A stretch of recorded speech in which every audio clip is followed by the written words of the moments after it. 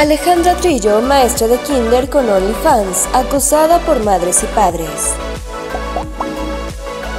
Muchas personas han encontrado en la plataforma OnlyFans una válvula de escape a muchos problemas económicos mediante la venta de contenido exclusivo. No obstante, esto no se reduce al mundo artístico o deportivo, como se ha registrado en varias ocasiones, sino que incluso docentes echan mano de esta para tratar de solventar sus deudas. Este es el caso de Alejandra Trillo, una maestra que imparte clases en un jardín de niños de Guadalajara y que se unió a la llamada Página Azul con el objetivo de tener ingresos extra a través de comercio de fotografías y videos, además que tiene una presencia importante en redes sociales convencionales. De acuerdo con las estadísticas obtenidas de sus perfiles oficiales, tan solo en Instagram cuenta con 162 mil seguidores, mientras que en TikTok la cifra es de 1.8 millones.